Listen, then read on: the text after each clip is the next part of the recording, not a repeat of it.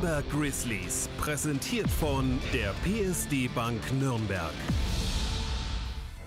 Alles gegeben, gekämpft, niedergerungen. 8 zu 19 heißt es aus Grizzlies Sicht nach dem ersten Kräftemessen der neuen Saison. Die Gäste aus Oberbayern am Ende eine Nummer zu groß.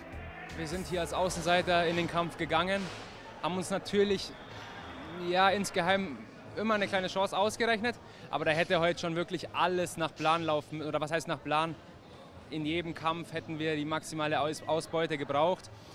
Ähm, ja, und im Endeffekt, jetzt hat es halt in den Einzelkämpfen, ich sag mal, in jedem Kampf ein, zwei Punkte zu wenig. Wir haben auch ein bisschen geschaut, wie sie dann gekommen sind, haben nochmal umgestellt. Das werden zwei Variationen für heute. Aber die waren einfach einen Tick zu stark, muss man einfach anerkennen.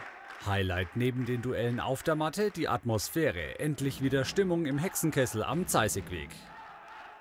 Man hat auch gesehen, wenn dann mal ein spannender Kampf war, wie die Halle wieder gestanden war, ob es auf der einen oder auf der anderen Seite war. Und das macht das Ganze einfach aus. Das ist Feeling beim Kampf und dann, ja, wunderschön, das wieder zu haben. Wir haben es alle vermisst. Letztes Jahr waren ja höchstens mal 50 oder 100 Leute da.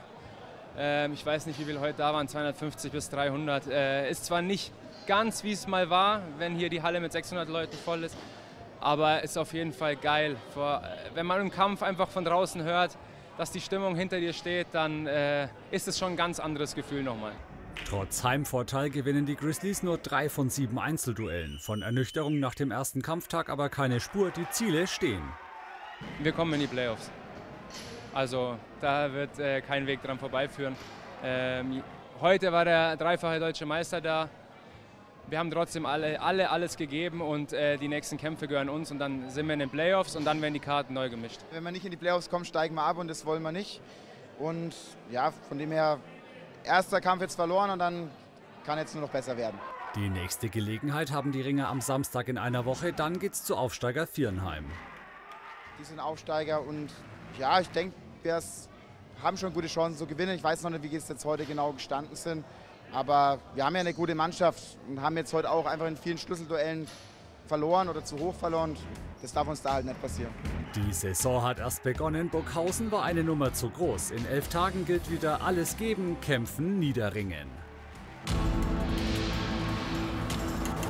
Die Nürnberg Grizzlies, präsentiert von der PSD Bank Nürnberg.